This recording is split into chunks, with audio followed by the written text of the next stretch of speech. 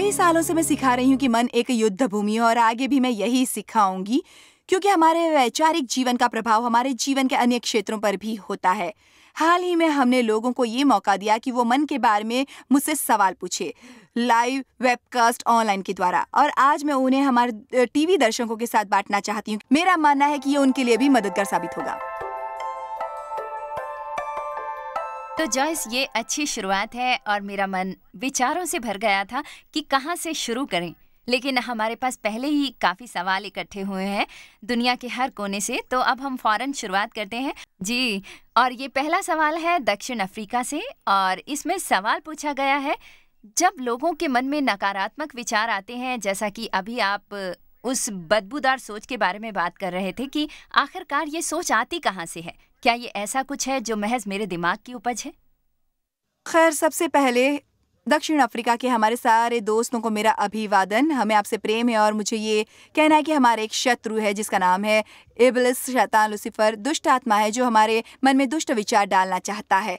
Bible कहती है दो कुरंथियो अध्याय दस में कि इस शत्रु से लड़ने हेतु शस्त्र चाहिए, क्योंकि वो हमारे मन में गढ़ बनाना चाहता है और वास्तव में एक गढ़ ऐसा क्षेत्र होता है जिसमें दुश्मन आकर रहता है और खुद को छिपाता भी है। साल के तौर पर आप में से कई लोग गलत सोच के साथ जी रहे होंगे, पर नहीं जानते कि वो गलत है। मेरा भी बचपन में शोषण किया गया था और मिसाल के तौर पर मैं हमेशा सोचती थी कि मेरा जीवन हमेशा अप्रतिष्ठा का होगा और इसलिए मैं हमेशा ही दूसरी बेहतर बात चुनती, क्योंकि मेरी यही धारणा थी कि मैं बेहतर बातों के योग्य नहीं हूँ और मैं सोचती थी कि मेरा जीवन बर्बाद हो गया है। और जब मैं प्रभु के वचन का अध्ययन करने लगी, तब मैंने ये सत्य जाना कि मुझे इस झूठ को धूल चटानी है। मैं उसी की हकदार थी जो मुझे चाहिए था। और बाइबल हमें सिखाती है, शैतान एक बड़ा झूठा है। और वह सत्य का बाप है और उसमें सच्चाई नहीं है। और जब तक हमें वचन के सत्य का ज्ञान ना हो, हम जान ही नहीं पाएँगे कि हमें धोखा दिया जा रहा है और हमसे झूठ बोला। इसलिए मुझे लगता है कि सारे बुरे विचारों की शुरुआत शैतान में है पर कई बार हम खुद बुरे विचारों में इतने माहिर बनते हैं कि उसे ये काम करना ही नहीं हम पड़ता। उसी की मदद करते हैं। हम उसी का काम करते हैं या कई बार शैतान आदरणीय लोगों का इस्तेमाल करता है या जो हमसे प्रेम करते हैं वही हमसे कुछ ऐसा कहते हैं, जिससे हमारे मन में शक पैदा होता है या वैसी ही अन्य बातें आती हैं तो मेरे ख्याल से शैतान काम करता है कई कई कई अलग तरीके से। पर इसके कारण रुकावट आती है हमारे लिए प्रभु की योजना में। पर हमारे लिए शैतान की भी योजना होती है और कोई माने या ना माने, इसी योजना में हम फंस सकते हैं। इसलिए प्रभु के वचन में बढ़ो। मैं लोगों से हमेशा कहती हूँ कि प्रभु के वचन की सहमति में रहो। आमोस तीन तीन कहता है दो लोग आपस में सहमत ना हो तो साथ कैसे रहेंगे? यदि आपको वो जीवन चाहिए जो प्रभु देना चाहते हैं तो प्रभु आपके बारे में क्या करते हैं ये सीख कर उनके साथ सहमत तो हो जाओ। प्रभु का वचन क्या कहता है ये जाने बिना? आप जान नहीं पाएँगे कि आपके विचार प्रभु से हैं या शैतान से मैं परिपूर्ण धोखे में और परिपूर्ण में गुलामी में सालों साल सालों साल सालों साल जी रही थी। कई साल यानी तब मैंने शायद बत्तीस तैंतीस साल की हुई थी और उन दिनों में हालाँकि मैं चर्च में जा रही थी फिर भी मैं जान नहीं पाई थी कि प्रभु के वचन की वास्तविकता सच्चाई क्या है जिस पर मुझे अपनी ज़िंदगी की बुनियाद रखनी थी। मैं चर्च में सिर्फ़ धार्मिक फ़र्ज़ निभाने जाती थी पर जब मुझे ये एहसास हुआ कि प्रभु का वचन क्या है और इसी के द्वारा मेरे मन का नवीनीकरण होकर मैं यही तरीके से सोच सकती हूँ तब मेरी कहानी बिल्कुल और यही आपका जीवन बदलता है। तो ठीक है ये रहा अगला सवाल। हुस्टन की बारबरा से। बारबरा को जानना है कि मैं इसी बात में क्यों उलझी रहती हूँ कि लोगों को मेरे बारे में क्या अच्छा लगता है और लोग मुझे पसंद क्यों नहीं करते। इन सारी बातों से मैं परेशान क्यों रहती हूँ? खैर हेलो ह्यूस्टन की बारबरा। इसकी वजह असुरक्षा की भावना, ये बात मेरे लिए रोचक है कि सबसे पहली बात जो प्रभु हमें देना चाहते हैं और जिस विषय में कुछ कहना चाहते हैं वो है धार्मिकता या प्रभु में सदा सीधे खड़े होना, क्योंकि हम में से कई हमारी पूरी ज़िंदगी गलत एहसास में जीते हैं। हम अपने बारे में गलत सोचते हैं, हमसे कहा जाता है कि हम इस गलत रास्ते पर हैं, जिसके कारण वे सोचते हैं कि उनके जीवन में सब कुछ गलत है। हमें ये आदत होती है कि हम हमेशा खुद की तुलना अन्य लोगों के साथ करते रहते हैं और दूसरों को अपना प्रतिद्वंदी मानते हैं। जो तस्वीरें हम कभी भी मानसिक पत्री में देखते हैं, वे सब इतनी लिभावनी होती है कि शैतान हमसे आकर कहता है कि हमें भी इसी तरह दिखना चाहिए और यही हम जीते हैं। तो हम वो नहीं हैं जो हमें होना चाहिए और बाइबल कहती है कि अगर कोई मसीह में है तो वो नई सृष्टि है। पुरानी बातें बीत गई हैं। हमारी पुरानी सोच भी और सारी बातें नई हो गई हैं। हमें ये बदलाव एक ही जादुई पल में नहीं आता। प्रभु के वचन का मनन करके ही हमारी नवीनीकरण की भावना जागृत होती है। दो कुरंतियों पाँच इक्कीस कहता है, जो पाप से अज्ञात होता है, उसे हमारे लिए पाप ठहराया गया है कि हम मसीह में परमेश्वर की धार्मिकता ठहरे। परमेश्वर, हमें मसीह में देखना चाहता है ताकि हम अपना भरोसा और विश्वास प्रभु यीशु में रखे। शरीर पर भरोसा मत रखना। फिलिपियो तीन दिन कहता है, सिर्फ़ यीशु मसीह पर रखना, मैं जानती हूँ असुरक्षित होना क्या होता है। बार बार मैं यहीं से बता सकती हूँ कि आप कहाँ हो और आपकी समस्या कहाँ है, जिससे आप अनजान हो। जब भी हम ये फ़िक्र करते हैं कि लोग हमारे बारे में क्या सोचते तब हमारा अस्तित्व अन्य लोगों की राय और विचारों से नियंत्रित होता है। तो अगर आप चाहती हो कि आपका जीवन आशीषित हो, आपके जीवन में प्रभु की योजना पूरी हो तो आपको सीखना होगा कि मसीह में आप कौन हो।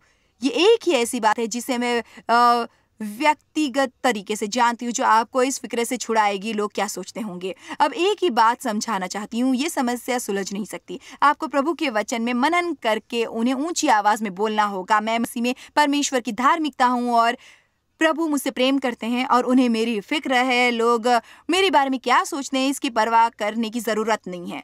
जंग तो सदा रहती है पर आप ये जंग जीत सकते हो अगर आप प्रभु के वचन से सीख लेते हो कि जंग कैसे जीतनी बहुत अच्छी। अगला सवाल स्प्रिंगफील्ड मिजोरी से सुजैन सवाल पूछती हैं कि मैं रोज़ाना नकारात्मक व्यक्तियों से घिरी रहती हूँ और मुझे जानना है कि उनकी नकारात्मकता से मैं अपनी भावनात्मक स्थिति कैसे बचाऊं और कैसा व्यवहार करूँ। खैर, सुजन, ये आसान नहीं है। मैं ये नहीं कहूँगी कि ये आसान है। अगर आप ऐसी स्थिति में हो जहाँ आपको नकारात्मक व्यक्ति के साथ रहना है तो मैं, हमें देख रहे उन सब लोगों से ये कहना चाहूँगी कि यही आपने नकारात्मक व्यक्ति के साथ रहना स्वीकारा है तो सिर्फ़ खुद को फंसाए नहीं। अगर किसी तरह आप खुद को सकारात्मक लोगों के बीच रख सकते हो तो ज़रूर ऐसा करो। पर यदि आप ऐसे हालात में हैं जहाँ आप नकारात्मक लोगों के बीच है तो एक जितना हो सके आप सकारात्मक वृत्ति के लोगों के मध्य में रहो और उनकी तरह सोचने लगो। मिसाल के तौर पर अगर ऐसा कोई है जो आपका अपमान करके सदा नकारात्मक बातें करता है तो ये कोशिश करो कि आपके कुछ मित्र ऐसे हों जो आपका हौसला बढ़ाकर आपका प्रोत्साहन बढ़ाए। ये जान लो कि वो व्यक्ति समस्या में है। ये मेरे लिए हमेशा मददगार होता है जब लोग मुझे चोट पहुंचाते हैं क्योंकि तब मुझे ये जानने में आसानी होती है कि वाकई में उन लोगों को समस्या है। मुझे याद है जब यीशु ने कहा हे hey, पिता इन्हें माफ़ कर क्योंकि वे नहीं जानते वे क्या कर रहे हैं। याद रखो हमारे खिलाफ आने वाले कई लोग यही जानते हैं कि हम क्या हैं। वे अपनी तकलीफ़ के कारण ऐसा करते हैं। एक और बात मुझे बतानी है सूजन जो बेहद ज़रूरी है आपको प्रभु के साथ रोज़ाना बेहतरीन समय बिताना चाहिए क्योंकि परमेश्वर ही आपकी सच्ची ताकत है। मेरी अपनी ज़िंदगी में ऐसी कई बातें हुई जो गलत थीं और इन बातों के बारे में मैं हाल ही में सोच रही थी जहाँ मैंने महसूस किया कि प्रभु ने मेरे मन में उन यादों को मिटाया या मुझे उनसे छिपाया है। तो मैं ऐसे हालातों से गुजर रही थी जो मुझे काफ़ी दुख दे रहे थे। तब किसी ने पूछा ये कैसे हो सकता है? आप ये आ, तकलीफ़ सहने के बाद भी ऐसा कैसे जता सकती हो जैसे सब कुछ ठीक हो? और मुझे लगता है कि जो हमें, उन्हें हमसे ज़्यादा तकलीफ़ होती है, क्योंकि मुझे लगता है कि जैसे हमारे कार में शॉक ऑब्जॉर्बर्स होते हैं और आपकी कार गहरे गड्ढे में जाती है, तब आपको ज़ोर से धक्का नहीं लगता। वैसे ही प्रभु ने हमारे जीवन में शॉक ऑब्जॉर्बर्स रखे हैं ताकि हम उन पर भरोसा कर सकें। बाइबल हमें सिखाती है कि प्रभु सारी सांत्वना के परमेश्वर हैं और वो हमें हमारी सारी कलेशों से सांत्वना देते हैं। तो अगर आप किसी नकारात्मक स्थिति में हो तो ये ज़रूरी है कि आप प्रभु के साथ अपना बेहतरीन वक्त गुजारो। आपने ऐसा नहीं किया तो आपके लिए सब कुछ मुश्किल होगा। पर यदि आप सबसे पहले प्रभु से कहेंगे, प्रभु, आज मेरी स्थिति जानते हैं आप, मुझे यकीन है कि आपको नकारात्मक व्यक्ति के साथ जीना इसलिए मंजूर है क्योंकि आप जानते हो कि अब आपके लिए प्रभु ही यही इच्छा रखते हैं। तो कहो प्रभु मुझे आपके सामर्थ्य की ज़रूरत है। मैं जानती हूँ कि जहाँ कहीं प्रभु आपको रखना चाहते हैं वहाँ सवृत्ति से रहने हेतु प्रभु आपको अनुग्रह देंगे। मुझे यकीन है कि कई लोग बड़े शॉक एब्जॉर्बर्स के लिए प्रार्थना करते होंगे। बिल्कुल। या वे सोचते होंगे कि उन्हें नए चाहिए ताकि उन्हें झटके न लगे। देखो शॉक एब्जॉर्बर पुराने हो सकते हैं आपको जाकर उन्हें बदलना होगा। अब सवाल आया है क्रिस्टा से जो रहती हैं नॉर्थ कैरोलिना में और कहती हैं व्यसनाधीनता से संघर्ष करते हुए आप अपने मन की जंग को कैसे संभालेंगे? देखिए, सबसे पहले तो आपको यह विश्वास रखना होगा कि कुछ भी आपको अपने नियंत्रण में नहीं रख सकता सिवाय पवित्र आत्मा के, जो आपको प्रभु के करीब रखेगा। मेरे ख्याल से एक और बात है जिसके बारे में शैतान हमें फंसाता है और वो है सोचना कि मैं इसे नहीं सहूँगी, मैं इसे नहीं सहूँगी, मैं इसे नहीं सहूँगी, ये मेरे लिए बहुत है बहुत है, ये मुश्किल है मुश्किल है मुश्किल है। मैं आपको प्रोत्साहित करना चाहूँगी कि आप ये कहना छोड़ दें कि ये मुश्किल है, मैं नहीं कर सकती। ये मेरे लिए ज़्यादा है। हाल ही में मैंने एक पुस्तक लिखी है, पावर थॉट्स, और उसमें बारह बातें हैं जिनके बारे में आपको सोचना चाहिए, क्योंकि ये आपके मन का नवीनीकरण करने में मदद करेंगी। और सबसे पहली बात मैंने ये लिखी थी कि मुझे शक्तिमान करने वाले मसीह के द्वारा मैं सब कुछ कर सकती हूँ। तो जब आप कभी कभी सुबह जल्दी जब आपकी आँखें आधी खुली होती हैं, तब आप शत्रु शैतान आपके मन में ये ख्याल डालेगा, खैर, ये इच्छा आपको होगी ही ये व्यसन करने की इच्छा आपको होगी ही और ये आपके लिए थोड़ा ज़्यादा होगा और शायद आप अपने पैर ज़मीन पर इससे पहले ये ध्यान रखें कि आप जो करना चाहते हैं वो आप नहीं कर पाओगे। मुझे आपसे ये कहना है कि सुबह सबसे पहले प्रभु से कहो, प्रभु, मुझे आपकी मदद चाहिए। मेरा भरोसा सिर्फ़ आप पर है। मैं नहीं मानती कि कुछ भी मेरे लिए ज़्यादा है अगर आप मेरे साथ है। ऐसे वचन याद रखो, प्रभु मेरे साथ है तो मेरा विरोधी कौन? अगर प्रभु मेरी तरफ़ है तो मैं किससे डरूं? एक शास्त्र भाग है जो पिछले महीने मेरे सामने ताजगी से आया और मैंने जिस बारे में सिखाया अभी था, वो है एक युहन्ना चार चार लिखा है, तुम परमेश्वर के हो और तुमने उन पर जय पाई है, यानी दुष्ट आत्माओं पर। यानी हमने शैतान को पहले से हराया है और जय पाई है। क्यों? क्योंकि जो तुम में है, वो उससे बड़ा है, जो इस संसार में है। देखो, जिस सत्य पर आप यकीन करेंगे, वही आप पर सदा अधिकार करेगा। यदि आप मानेंगी कि व्यसनाधीनता आप पर हावी है तो वैसा ही होगा। अगर अब चाहती हो कि वही करें जो ज़रूरी है और यदि आप दिल से ऐसा चाहती हो तो एक पल सोचो। एक मिनट के लिए सोचो, एक घंटे के लिए सोचो। ये मत सोचो कि मैं अपनी पूरी ज़िंदगी पर कैसे कर पाऊँगी। सिर्फ़ इतना सोचो कि मैं ये अगले पाँच मिनट तक कर पाऊँगी। मैं एक घंटे तक ये प्रलोभन रोक पाऊँगी। मैंने भी यही किया था जब मैंने धूम्रपान छोड़ा था। जिंजर जो शायद एक मामूली बात होगी उन व्यसनों की तुलना में जिनमें अन्य लोग फंसे हैं, पर यह भी मुश्किल था। और मुझे याद है कि मैं रोज़ाना जीने लगी थी धूम्रपान किए बिना। और हर अगला दिन पहले से आसान होता जा रहा था। मैं ये कह सकती हूँ कि पहले हफ़्ते का हर एक दिन मुश्किल था, पर फिर उसके बाद हर एक दिन धीरे धीरे आसान होता गया और मैंने जाना कि पूरे तीस दिन तक मैं धूम्रपान के बिना रह चुकी थी और जब ये तीस दिन खत्म हुए तब मेरा वो संघर्ष मेरे लिए बाद में संघर्ष नहीं था। कभी कभी ऐसे मोड़ भी आते हैं जब मुझे गुस्सा आता था या मैं किसी बात से परेशान होती थी या मैं ज़्यादा थक जाती थी और सिर्फ़ आदत के कारण सबसे पहले मैं सोचती ओ अब मैं एक सिगरेट पीऊँगी। पर अब मैं ऐसा कभी नहीं सोचती। इतने साल धूम्रपान के बिना जीने के बाद आखिरी बात जो मन में आती वो है, तुम बदल सकते हो आज़ाद हो सकते हो, यीशु ने तुम्हें आज़ाद किया है, आपको यही विश्वास करना है। सुबह जल्दी उठकर कहो, मैं इससे आज़ाद हूँ।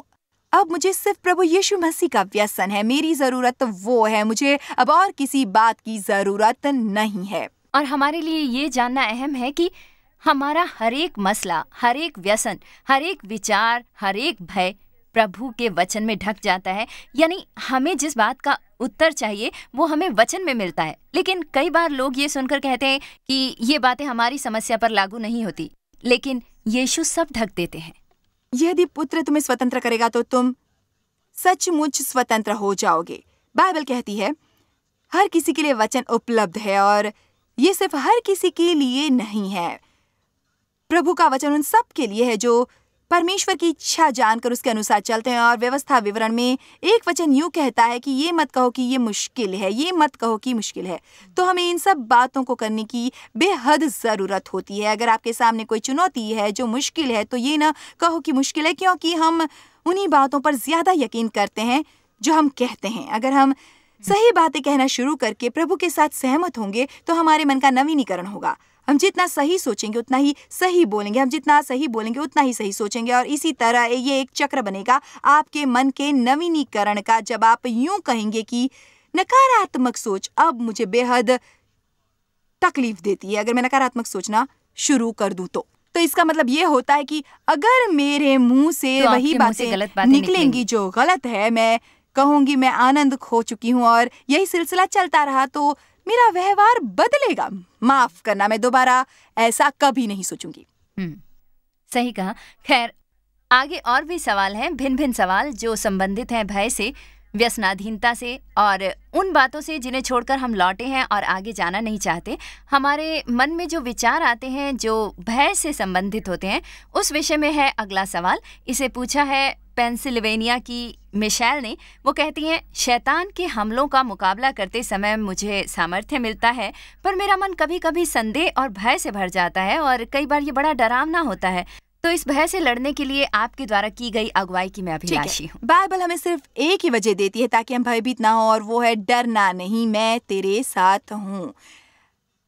अपने दम पर भय का सामना करना फिजूल है। सबसे पहले जान लो कि प्रभु आपके साथ है। दूसरी बात भय एक ऐसी आत्मा है जो हमारे मन में भय का एहसास जगाती है। बाइबल कहती है कि प्रभु ने हमें भय की आत्मा नहीं दी है पर हमें सामर्थ्य और प्रेम की आत्मा दी है। पर जब बाइबल कहती है कि डरना नहीं तो इसका अर्थ ये नहीं कि आपको डर ना लगे। मेरे ख्याल से हम सबको अपने जीवन में कभी ना कभी डर लगता ही है। डरना नहीं का अर्थ डर के अधीन न होना है। वास्तव में डर शब्द का अर्थ है किसी बात से कहीं दूर भाग जाना। हम अधीन हो सकते हैं चिंतामय विचारों के, डरावने विचारों के। मैं यहाँ बैठकर यूँ नहीं कह सकती कि मेरा मन कभी चिंतित नहीं हुआ, क्योंकि ऐसा होता है, पर कई बार मैं इससे बचती हूँ और चिंताओं से दूर होती हूँ। पर फिर भी एक बात जो हमेशा मेरे मन में आती है, ये मेरे मन में आती है तो शायद ये आपके लिए हो सकती है। मेरे मन को मेरे परिवार के साथ ज़्यादा दिक्कतें होती हैं, जब मैं बेहद बेहद बेहद बेहद थक जाती हूँ। मिसाल के तौर पर जब मैं अपनी सभाओं के लिए बाहर जाती हूँ और खुद को झोंक देती हूँ मेरे संदेश और मेरी सभाओं के लिए। और मैं वहाँ हम्म। जाती हूँ वहाँ से लौटती हूँ सभाओं में जान डालती हूँ अजनबी बिस्तर पर सोती हूँ थक जाती हूँ। और मैंने जाना है कि अगर मैं सतर्क नहीं रही तो रविवार को मेरी सभाएँ समाप्त होते ही मैं बड़ी आसानी से देव पर क्रोधित होती हूँ और मेरे मन को आसानी से चोट पहुँचा सकती हूँ। स्वाभाविक तौर पर अगर मुझसे किसी ने कुछ कहा तो मैं कहती हूँ कि, ओ, उनके कहने का ये अर्थ नहीं था, पर उस दिन मेरी भावनाओं को बड़ी आसानी से चोट पहुँचती है तो मैंने सीखा है कि रविवार को मेरी सभाओं के बाद मैं इस बात का ख्याल रखती हूँ कि मैं कुछ भी ऐसा नहीं करूँगी जो मुझे उकसाए या ऐसा कुछ जिससे मुझे तनाव आए। मैं वो करती हूँ जो मुझे खुशी दे, मैं उन लोगों के करीब रहती हूँ जो मुझे आनंदित करते हैं। तो इस बात का ख्याल रखें कि आप अपनी देखभाल करें, क्योंकि अगर आप हमेशा थके रहेंगे और इस वक्त मुझे यकीन है कि ये बात उन लाखों लोगों के लिए मददगार होगी जो मुझे दिख रहे हैं। अगर आप हमेशा थके रहेंगे, आप सिर्फ़ तीन या चार घंटे सोते हो, जबकि आपको ज़रूरत है आठ घंटे की तो देखो कितना मुश्किल होगा आपके लिए उन दिनों में अपनी सोच सही रखना, जिन दिनों में आपको अच्छी नींद नहीं मिलती। दूसरी बात जो हमें प्रभावित करती है, वो है अपना जीवन अनियंत्रित रखना, और इसके लिए मुझे एक पत्रस पाँच पसंद है, जो कहता है सचेत रहो और जागते रहो क्योंकि तुम्हारा विरोधी शैतान गरजने वाले सिंह के समान इस खोज में रहता है कि किस पर झपट कर उसे फाड़ खाए। तो शैतान हर किसी को फाड़ कर खा नहीं सकता। वो सही व्यक्ति की खोज में रहता है और वो सिर्फ़ ऐसे व्यक्ति को ही फाड़ कर खा सकता है जिसका जीवन अनियंत्रित है। अब तुम इसका अर्थ जान गई होगी जिंजा और इसे ठीक से समझ गई होगी। मेरे जीवन में कई कई साल पहले मुझे अति व्यस्तता की आदत थी। हम्म। मतलब और जब भी मैं सोने चली जाती थी तो कोई ना कोई काम बचा रहता था जिसे मैं करना चाहती थी। पर हाँ। अब मैंने अपना जीवन इस तरह सवारा है कि अब शाम पाँच बजे मेरी रात होती है। मेरा काम पूरा होता है और मैं वो करती हूँ जिसे मैं प्यार से कुर्सी चिकित्सा कहती हूँ। मैंने ये जाना है कि अगर मैं शाम को आराम ना करूँ तो खास कर अब क्योंकि मैंने काफ़ी कम साल जिए हैं, आपको ज़्यादा जीना है तो आप ये ज़रूर करें, शाम का समय मुझे अपने लिए बिताना पसंद है। मैं कुछ घंटे शांति से आराम करती हूँ और कुछ मन चाह करती हूँ, वरना मैं जल जाऊँगी। और मेरे ख्याल से आज हमारे समाज में एक अविश्वसनीय दबाव है, जिसे लोगों पर लाद दिया गया है। हर किसी की बड़ी उम्मीदें होती हैं, सबकी अपनी मांगे होती हैं। और कभी कभी ये आप पर इतना हवी होता है कि आप आखिरकार यही सोचते हो कि आगे बढ़ने के लिए ये बहुत ज़रूरी होता है। आगे आगे आगे आगे आगे आगे।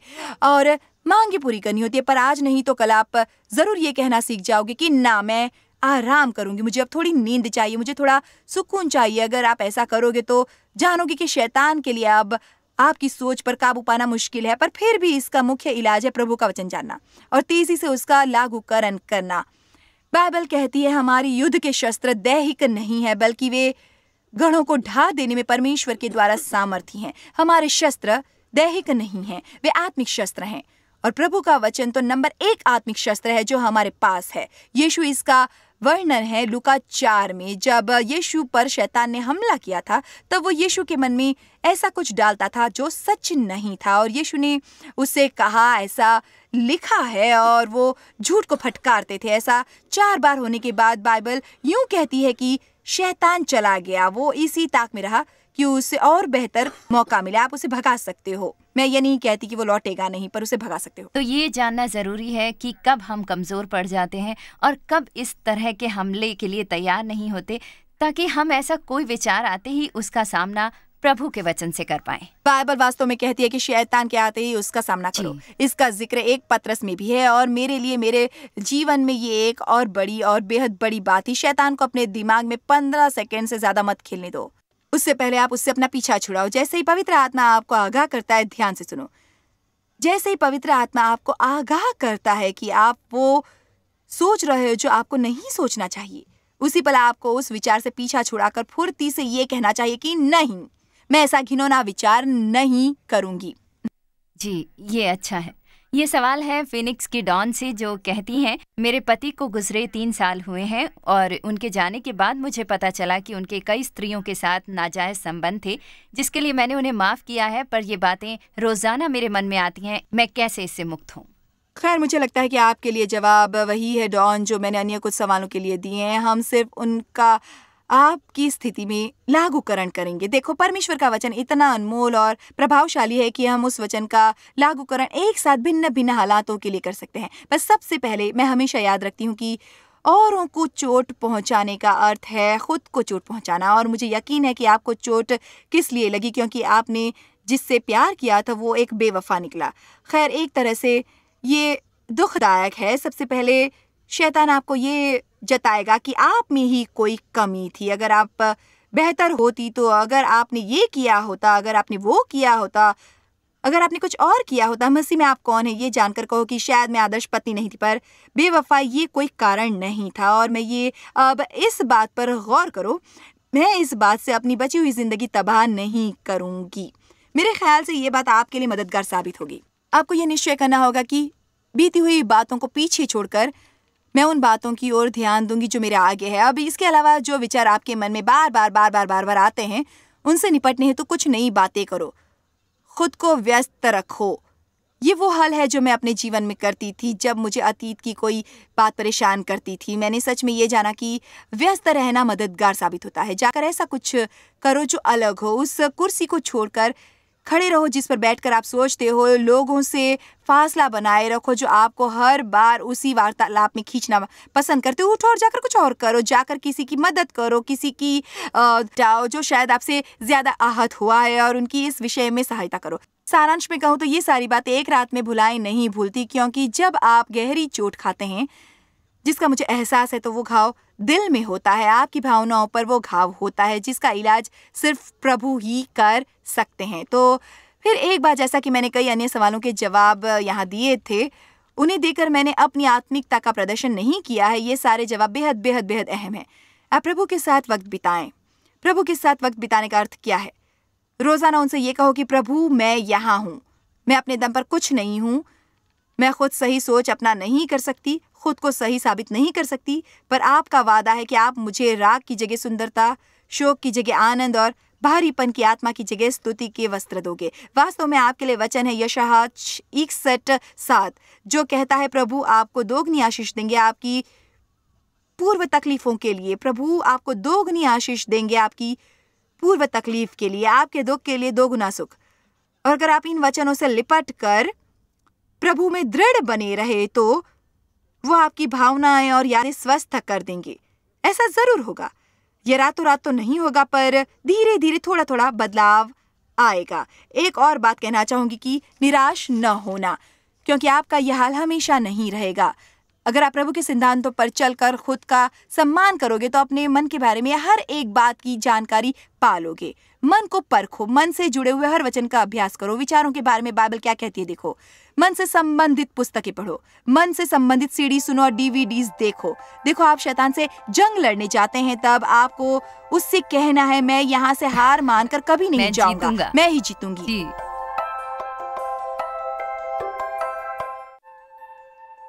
जी जॉय स्मायर मिनिस्ट्रीज में आप हमारे लिए कितने अहम हैं, इसका आपको अंदाज़ा नहीं। हम आपके आभारी हैं और हम धन्यवाद करते हैं अपने सब मित्रों और सहयोगियों का कि उन्होंने इस विश्वव्यापी सेवकाई को संभव बनाया। मिलकर हम भूखों को खिला रहे हैं, गरीबों को पहना रहे हैं और कई देशों में सुसमाचार पहुँचा रहे हैं। कृपया हमसे संपर्क करें या विज़िट करें jmmindia.org पर। आज ही अपनी प्रार्थना के अनुरोध बताने के लिए, हमारे साधनों के बारे में और जानकारी और चॉइस की सभाओं का शेड्यूल जानने के लिए और हमारे सहयोगी बन जाए दुनिया भर में मसीह का प्रेम बांटने के लिए। ये कार्यक्रम जॉय स्माइल मिनिस्ट्री के मित्रों और पार्टनर्स द्वारा प्रायोजित है।